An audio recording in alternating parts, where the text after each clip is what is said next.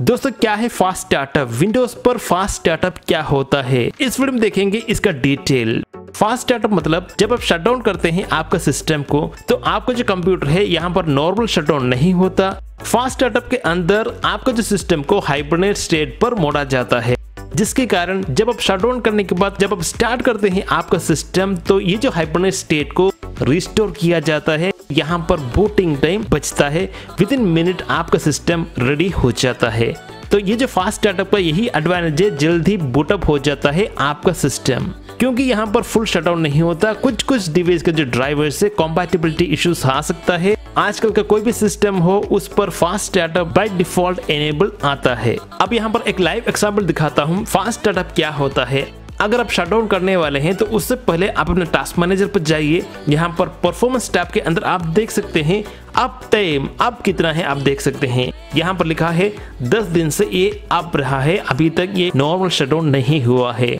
चलिए shut down करके देखते हैं। शटडाउन होने के बाद ऑन कीजिए आपके सिस्टम को। उसके बाद आकर जब आप टास्क मैनेजर के अंदर देखते हैं तो आप टाइम अभी भी 10 दिन ही है। मतलब फुल शटडाउन अभी तक ये नहीं हुआ। अगर हमने शट डाउन प्रेस किया तो भी फुल शट डाउन नहीं हुआ। दोस्तों, इसे कहते हैं फास्ट स्टार्टअप आपका जो सिस्टम फुल शटडाउन नहीं होता, सिर्फ़ हाइपरनेट स्टेट पर मोड़ा जाता है। आप इसे फुल शटडाउन करने का कोई तरीका है क्या? जी हाँ फुल शटडाउन करने का तरीका है। जब आप शटडाउन करते हैं तो आपको प्रेस करना चाहिए शिफ्ट प्लस शटडाउन का जो बटन है, इसे क्लिक कीजिए। शिफ्ट प्रेस करते हुए आप शटडाउन का जो बटन है, इसे क्लिक कीजिए। तब जाके आपका जो सिस्टम है फुल शटडाउन होगा। इसके अलावा एक और ऑप्शन है रिस्टार्ट कर दीजिए। रिस्टार्ट करने पर भी ये जो फास्ट स्टार्टअप का जो ऑप्शन है अप्लाई नहीं होता। इसके अलावा अगर आप फास्ट स्टार्टअप को एनेबल डिसेबल करते हैं तो भी ये जो ऑप्शन आपको मिलेगा कि आप फुल शटडाउन कर सकते हैं। मतलब फास्ट स्टार्टअप को एनेबल डिसेबल कैसे करें? इसके लिए स्टार्ट मेन्यू पर आप सर्च करें पावर ऑप्शंस पावर ऑप्शंस के अंदर आप चुने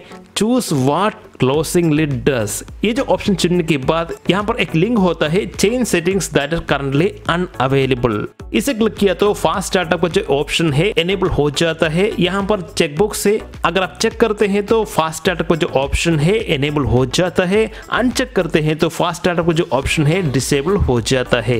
ध्यान रखिए, अब ये क्या है हाइपरनेट स्टेट फास्ट स्टार्टअप के अंदर क्या होता है? फर्स्टली जो स्टेट है विंडोज़ का अभी, इसे कंप्लीटली हार्ड डिस्क पर सेव किया जाता है। टर्न ऑफ़ करने के बाद भी यहाँ पर कोई भी पावर कंज्यूम नहीं होता ज़ीरो पावर कंज्यूम होता है। तो दोस्तों, यहाँ पर एक डाउट आता है, क्या फास्ट स्टार्टअप और हाइबरनेट ये दोनों सेम है? नहीं दोस्तों फास्ट स्टार्टअप और हाइबरनेट ये दोनों सेम नहीं है। हाइबरनेट के अंदर जो कोई भी अभी ओपन है करंट स्टेट पर इंक्लूडिंग लॉक्ड यूज़र हो ओपन फाइल्स हो फोल्डर्स हो एप्लीकेशन हो, सबको हार्ड डिस्क के अंदर सेव किया जाता है। मगर फास्ट स्टार्टअप के अंदर अभी का जो फ़र्स्ट स्टेट है सिस्टम का, सिर्फ़ इसे ही हार्ड डिस्क पर सेव किया जाता है। फास्ट स्टार्टअप के अंदर मोस्टली सारे के सारे सिस्टम मेमोरी को क्लोज किया जाता है क्लियर किया जाता है, उसके बाद ही उसे हाइबरनेट स्टेट पर मोड़ा जाता है। मतलब वो जब ऑन करते हैं, वापस ऑन करते हैं तो फास्ट स्टार्टअप पर जल्द ही रिस्टोर हो जाता है आज कंपेयर टू हाइबरनेट क्योंकि हाइबरनेट पर ज़्यादा प्रोग्राम्स फाइल्स फोल्डर्स ये सब रिस्टोर करने का होता है। फास्ट स्टार्टअप के अंदर ये नहीं होता।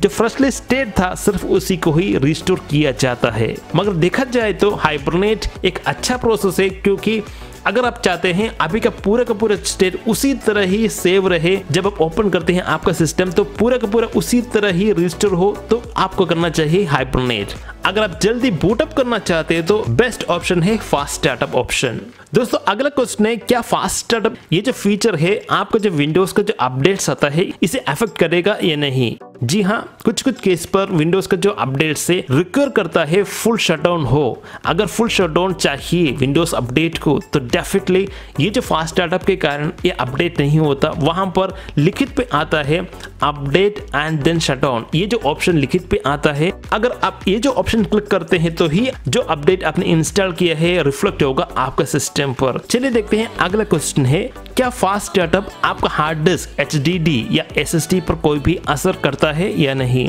अगर आप एस एस यूज़ करते हैं तो फास्ट स्टार्टअप को इतना असर नहीं पड़ेगा, क्योंकि एसएसडी पर बहुत ही जल्दी ओपन हो जाता है आपका सिस्टम नॉर्मल हार्ड से थ्री टू फाइव टाइम्स ज़्यादा फास्ट होता है एसएसडी मगर यहाँ पर एक और पॉइंट है, अगर एसएसडी यूज़ करते हैं एसएसडी का लाइफ डिटरमिन करता है, उसे कितना यूज़ किया है, उस पर कितना राइटअप हुआ है.